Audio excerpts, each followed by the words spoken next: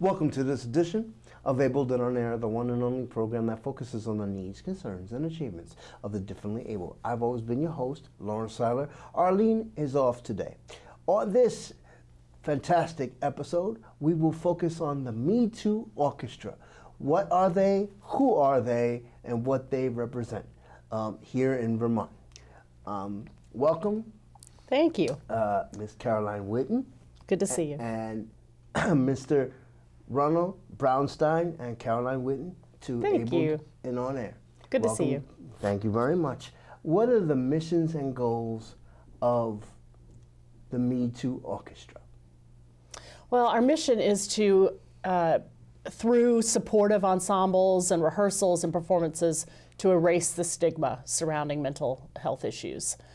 Um, and our goals really are uh, there. It's it's multi-layered. We have certain goals within our orchestras, uh, and that comes about because we have people who are living with mental illnesses and people who don't have a diagnosis. And what we want to show there is that people can work very well side by side, whether or not there's a mental health diagnosis involved, um, because a lot of people in our community don't recognize that that's possible. Why is why is it the fact that they don't recognize? I think because we don't with- have these with mental illness? conversations. Mm-hmm. We don't have these conversations. People are afraid due to the stigma and, and potentially discrimination uh, surrounding a mental health diagnosis. They don't talk about uh, what they might be living with, and because it's it's a silent issue, Mm-hmm. people rely. They form their opinions around, say, bipolar disorder or schizophrenia around what they hear on the news or see in a movie. And it's a very distorted uh, viewpoint. Now, both of you can answer this. What is uh, some of the history of Me2? How did you guys get started? Well, we got started um, in, in 2011, and um, I'd had a history over, over my career, um, very uneven, very high points and very low, the best orchestras in the world, and then under the bridge for, for extended periods. And you've worked in Europe and some other places as yeah, well. a lot of very fancy places and then very not fancy situations. And um, at a certain point, I just got fed up with it, with um, being discriminated against. So I decided to create my own orchestra, created people like myself. Um, at the beginning, it was just for me to kind of feel a space that I was um, safe in, that I wouldn't be judged, that I wouldn't be um, analyzed or discriminated against. And I found that very, very healing. And originally, it really was for me to heal myself, but as I um, felt more comfortable sharing my, my, um, myself as a musician and as a person, as someone living with a bipolar disorder, um, I found there are many people like me, and they started to come to the, this orchestra, and um, um, it, it grew from there. It's now grown to almost 50 people in um, in Burlington alone, and then about 50 in, in Boston. So, how do you, this, this to both of you, how do you really educate people in your work of Me2? Because I understand that you, um, there's personal stories that people give and Mm-hmm. so on and so forth. So, you want to take that. Yeah, I think I think the education happens when you create an environment that is safe and stigma free, so that people, if they want to discuss uh, their diagnosis or maybe what they're feeling on any given day, that they feel safe enough to do that.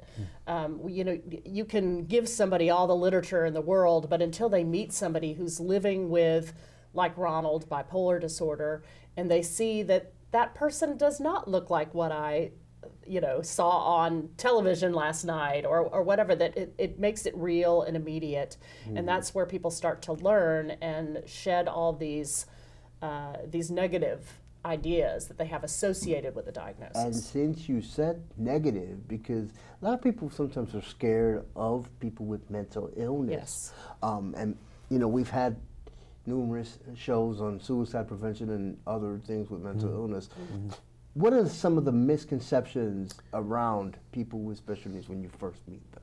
Well, I think that a lot of people, beca- largely because of media, is they are s- perceived as being violent, violent, hmm and um, not to be trusted, and somehow criminal. Um, they'll break up your house. They'll do every, everything, but actually, more often than not, um, people living with with a mental illness are more often the um, victim of a crime rather than a a, a um, pr- protagonist. So that's, What do you mean by protagonist? Um, exactly. They're a victim, A not so much not so much a perpetrator. Ah, perhaps. okay. That's Yeah. that's what I meant. Um, now, in terms of music, Mm. right? Because so, this past week we went to the Barre Opera House and we saw. Um, and matter of fact, we're gonna roll some of that footage. Um, what is your favorite piece of music, and how does music really help you get through your mental illness, or dealing with Me2? How, how does that help as far as, as far as music is concerned? Well, my favorite piece is um, Beethoven Fifth Symphony, Mhm. especially the fourth movement, because that's the biggest transformation um, breakthrough um, of expression. Um, up till the Fifth Symphony, um, all music was really created for classical court com- composers, Mhm. kings and queens, and they had to follow certain rules and everything. Everything was very, very um, codified. And um, in Beethoven Fifth Symphony, it just bursts that in its self-expression. Um, was the first concept of the composer as a romantic um, person who could express himself through his What's your favorite piece of music? I, I find that that question really tough. I I don't know that I have one um, favorite piece. It's usually whatever I happen to be listening to. Like in that moment, it's my favorite. Uh, if I were going to be stranded on a desert island and had to have certain recordings, I'd probably go uh, orchestrally. I'd go with Brahms, maybe Mahler, one of the symphonies. Yeah. But it's it's tough. There's so much great music out there. Okay. Um, in terms of now, y- y- the Me2 started exactly when? When when did it actually start? Our first rehearsal was in September 2011 Mm-hmm. here in, in Burlington, Vermont. Yeah, because you guys are originally from Mass. You, you guys live in Right now we live, yeah, we live in uh, just outside of Boston uh, in Massachusetts. Um, but we, we started the Me2 organization here in 2011 and we, we branched out with an additional orchestra in Boston Mm-hmm. in the fall of 2014. Okay. Now, you've um, you've worked professionally uh, in Europe, and you've um, you've uh, have you worked with or collaborated with any other people who uh, famous artists like Vangelis? Well, let's see. I've, I've conducted um, many of the great orchestras of the world. Um, I conducted the Berlin Philharmonic um, when I was 23, and I conducted the San Francisco Symphony and um, the Stuttgart radio orchestras and many radio orchestras in uh, Switzerland and in Norway and in Israel and in Japan. Um, I had the great honor and privilege um, of being an apprentice of Herbert von Karajan, who was the greatest musician of, of the century, um, by all means. And um, he mainly taught me how to listen um, and to get the orchestra to listen to each other, which has really become a main theme in, in, um, in the Me2 experience, not only to listen to each other in the music, but to actually hear each other as people. So that's um, Because when you have when, when when someone has a challenge, Mm. uh, it's great to it's good, really good to be a good listener. Because once you are a good listener, you know, it it brings forth uh, you know, not only do you get to collaborate with people, but you get to, you know, just li- listen to what they have to say. You know, they're not there. It's like counseling, right? You have to be a good listener to Right. un- understand. And music for you is like is like counseling, if you will, pretty much, because you're you're channeling your energy, you're challenging, you know, you're challenging yourself in- into persevering despite your challenge. Right. I, I think you hit on something really important and, and something that certainly I experience when I'm happen to be playing in the orchestra.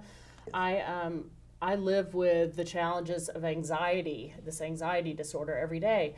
Mm-hmm. But you know what? I can't think about that if I'm playing Beethoven. There's no room for anxiety when you're playing Beethoven. You're just so focused on what's going on in that moment, focused on what he's doing on the podium, focused on the, the sounds around you in the orchestra. So it's I don't know that it's so much an escape, but it's definitely the opportunity to kind of let the rest of that go and be right there in that moment with other people. I know we still have some time left, but what is some advice you can professional advice that you can give to people out there who are living with or your own personal advice who are living with um, mental illness or mental challenges because um and another question is um have you I mean you can answer it or not but have you always lived with bipolar disorder and I, I've been living with a bipolar disorder since um, 1985, and um, it's been a rough road. Um, but in the last six years, it's been one steady, um, even spell, and um, I'm working with that. and you have support yeah, I have support, and I have an excellent psychiatrist, and um, psychiatrist, families and psychology. support as well Yeah. So it all kind of co- comes together. Um, I just wanted to get back to what you asked about advice. yes And I think the, the first advice is to, um, as, as you said, get, get the right people in your, your team. You need a Yeah.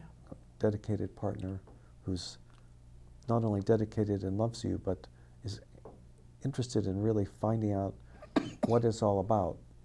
Um, the nuts and bolts, how to take care of you at home. And then you need a good psychiatrist who you trust and who do exactly what they say. Uh, you don't, not willy nilly about when to take the medication. You have to follow that person. And if you don't, you should just simply get another psychiatrist. Um, as far as going forward, once you're stable, uh, I think as far as um, finding a um, finding your way into music, I think the first thing would be to get a, a, um, a fulfilling job hmm that um, that fulfills your your um, your interest and your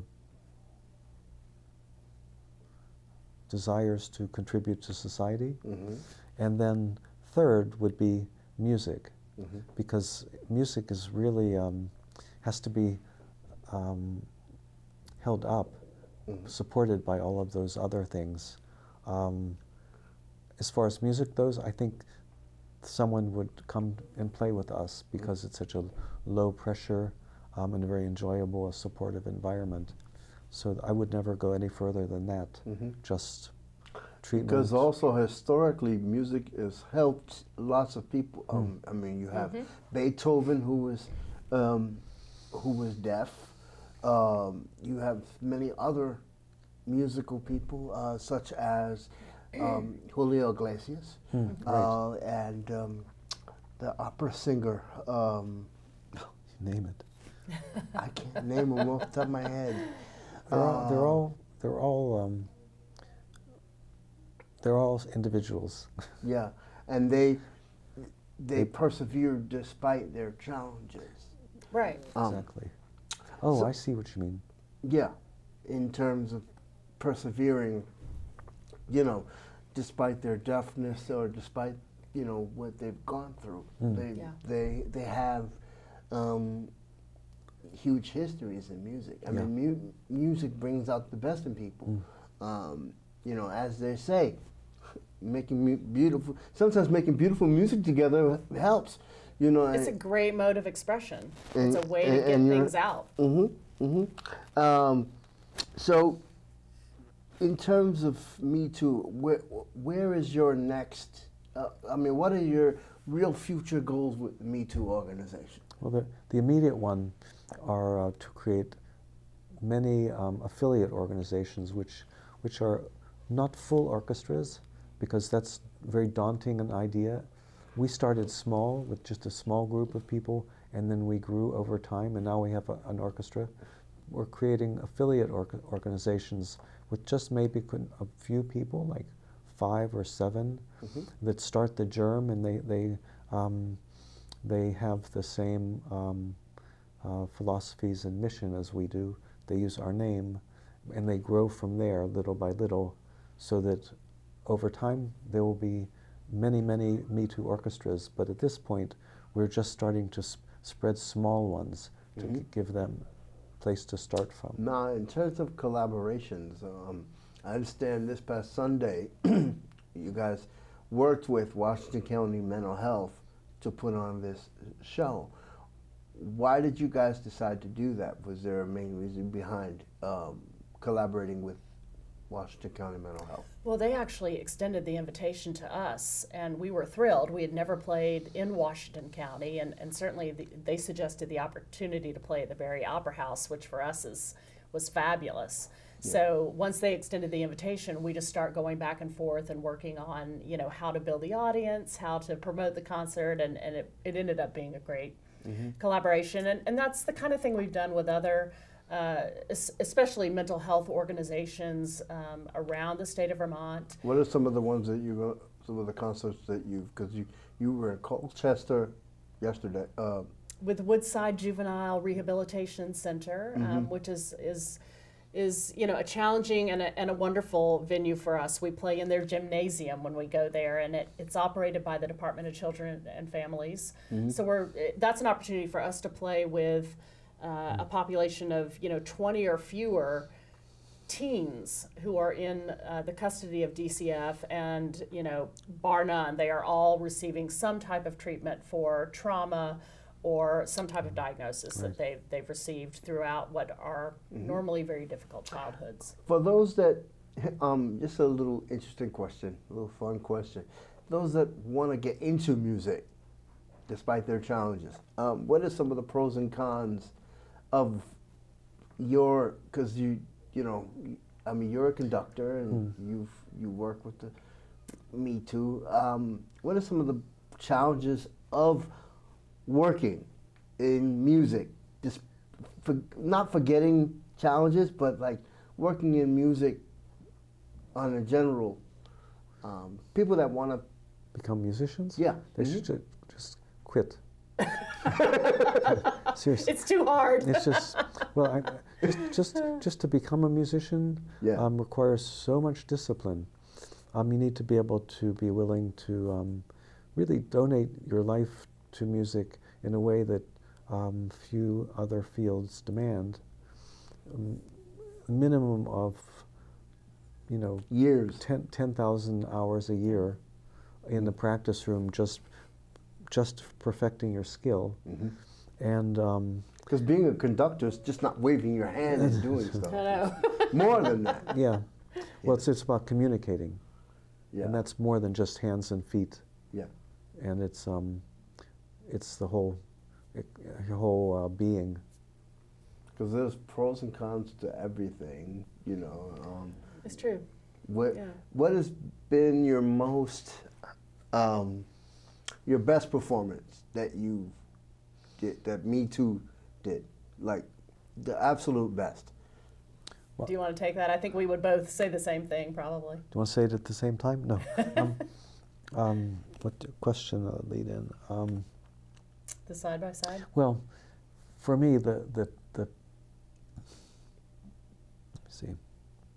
I would say the side by side concert, um, which which took place last year, and we brought we brought the musicians from Boston up to Burlington to, to literally sit side by side on the stage at the Flynn Center in Mm-hmm. Burlington, and we performed together. Yeah. And it was this amazing confluence of seeing kind of all the relationships um, in each of those orchestras then collide, you know, together, and all these new friendships being formed. Each of the orchestras had had rehearsed the same music separately, but then to bring that together on one stage and in this huge orchestra was just it was thrilling in a way that you know is, is very different than than other performances. Because they were really collaborating with each other Yeah.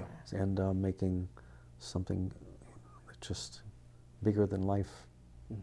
Does it get, um, how can I put this? Uh, with your, if you don't mind me asking this, um, with your challenges, does it get frustrating sometimes when you're on stage and how you challenge, um, Block it out. chan- block it out or channel it?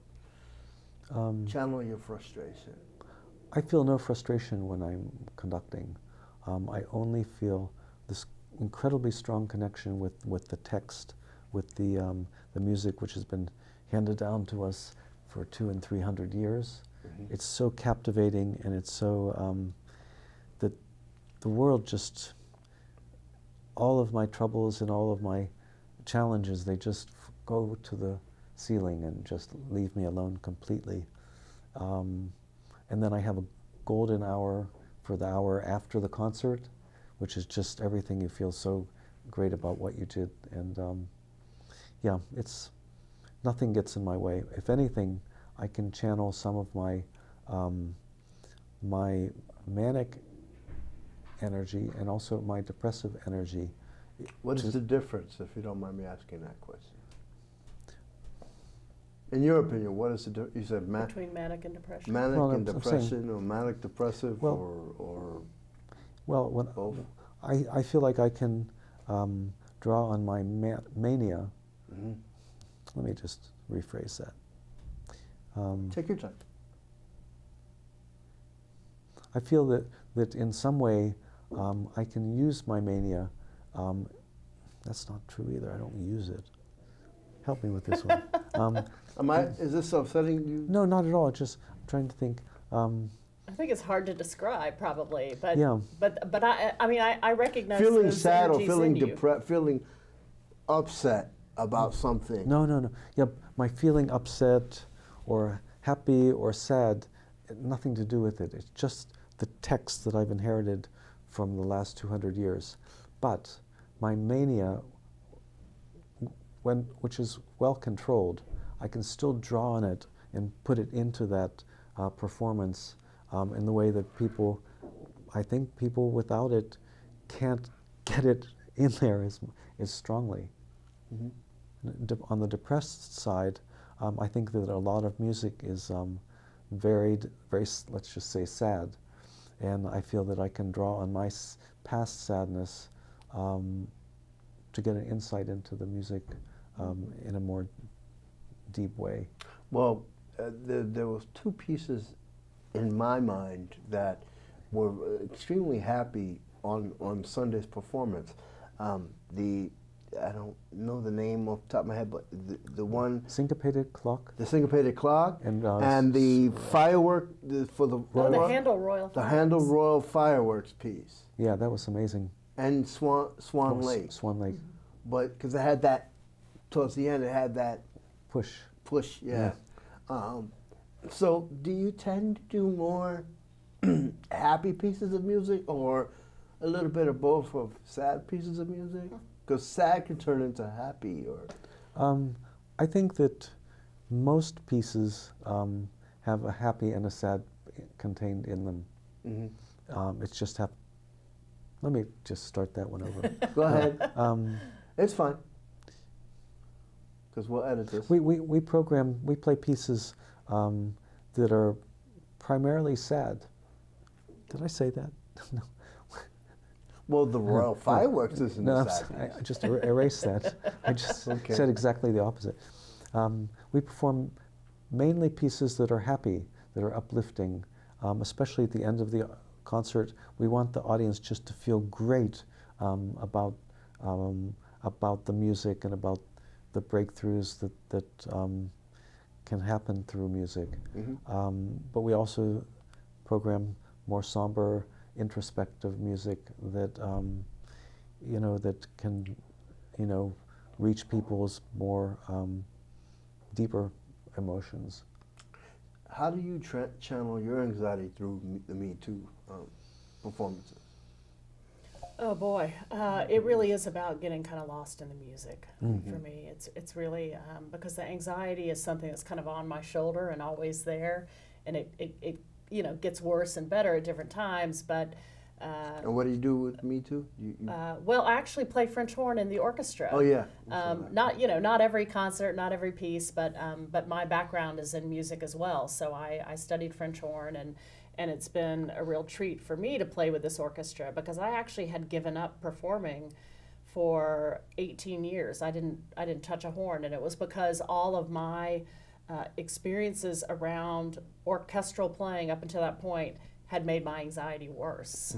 I was having panic attacks. I just I was not happy. And then Ronald came into my life and he had this vision about creating an orchestra where that kind of stress wouldn't be a part of the of, of the mix that you know the whole function would be to be supporting each other and celebrating our our achievements and what we can do on the instruments and uh, with that in mind, I went out and, and bought an old horn and started playing again. And so for me, for me, it's really been um, it's, So it's turned really- music on its head for So me. you've really channeled your bad anxiety, good anxiety, and so on. Yeah, I mean it's funny that music used to be such so challenging for my anxiety, and now it's actually more of an escape and a and a, a way for me to kind of soothe myself. Actually, Yeah, So do you tend to like uh, happy pieces of music or sad pieces of music? boy, uh, you know I think as a brass player, we tend to we tend to really enjoy playing the things that are big and happy and, and brassy, you know, and have big notes at the end, and Yeah. and that's that's a lot of fun to play.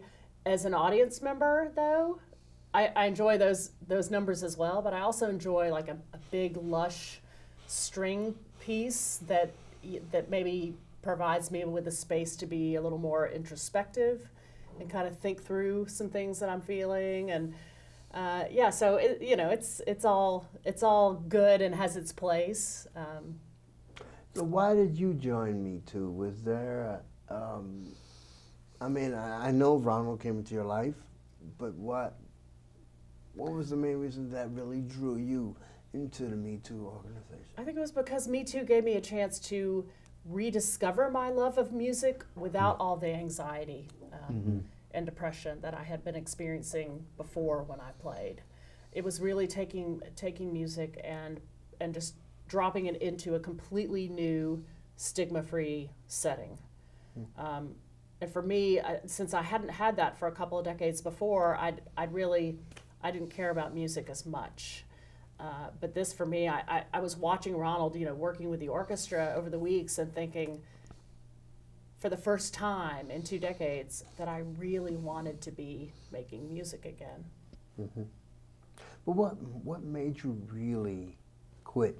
Or, uh, you know, all kidding aside, you know, you said quit in the middle, in the beginning of the interview. Yeah, yeah. Well, and I, and I think it get back. It gets back to what Ronald was saying. I mean, it's such a tough way to make a living, and and that I'm I'm the child of, of musicians, and and I I always thought that I would this would- that's how I would make a living. That I would be playing the French horn and making a living. And the reality of that is that it's it's incredibly stressful and incredibly difficult to get a good paying job. Yeah, certain cities I've seen walking in in New York because I'm originally a New Yorker. Right. And here in Vermont, you see people with their guitar cases in the street, and people throw money at you know because they're trying to make some money at what they do. And often they can make more money playing, you know, gigging out on the street, busking, as they say, out on the street for a Have you- few you hours than somebody that? can do, you know, teaching lessons or whatever. Have so- you have you have you done that? I haven't done it because I never got, um, you know, I played for a couple of years after college, but really never was in a position where I had to make my living just playing music. And for me, I, I reached that point where the, the panic and anxiety I had around it was so great that I discovered that I really love the administrative side of things and how, you know, these challenges like how do you build an organization? How do you raise the money? How do you market it to people? So I started going into So you that didn't side. start. You didn't start as a struggling musician, right? Well, I guess I I thought that was going to be my start. That's how it was going to be, but I got out pretty quickly. Did you did you have any struggling moments in your um, in your career at first? Uh, and not, how at, did you deal with them? not at first. I think that um, I went to Juilliard, Yes. and then after I graduated, um, I won first prize gold medal in the um, most important conducting competition in, in the world, Uh, which so- is what? the Herbert von Karajan um, International Conducting Competition, Yeah. and it's held in Berlin with the Berlin Philharmonic. Mhm. And um, so, me, it went off like a you know like a rocket, and it was that way you know for many years um, until I started to have, you know, people would say, something's wrong here. It's going too high. He's just off the charts, and they started to lose confidence in me because they couldn't handle me. And then there would also be periods where I would, you know, just be so tired I could barely get out of bed when I'm depressed, and I, I couldn't go, or I would become get paranoid and um, think that there were conspiracy theories against me and all of these kind of things. So the was- paranoia of it. Yeah. Right? Of, of of being one. Did you ever have any? when I would um, when I would be in a rough period, I started to feel paranoid, um, and I often was it was often well based. mhm. Have you ever had any paranoia on stage? No, No. I don't feel anything on stage. No. I'm only feeling the interaction with the musicians, Okay. and hoping that the audience can can um, feel the same thing. Um, be, uh, before we end uh, and we show the footage of the Barre Opera House, um, can you um, tell us where people can reach you at Me2 if they want to get in touch? Absolutely. Yeah, we um, our website is www.me2orchestra and that's M E and the numeral 2 orchestra.org. Uh, so very easy to find us online. The phone number there is actually my cell phone number 802-238-8369 and uh, and all the email contact information is is there as well. So we'd love to hear from people. Okay, let's take a look at some footage from the Barre Opera House and the Me2 organization. Let's take a look at this.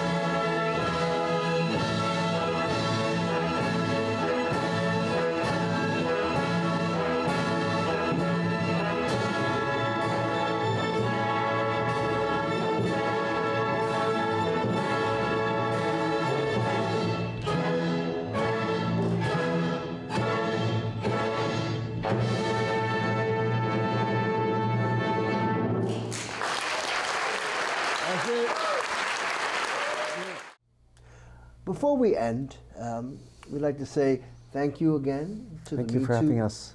for the Me Thank Too organization, and um, well, that puts an end to this edition of Abled and On Air. I'm Lawrence Seiler. See you next time. Play some music.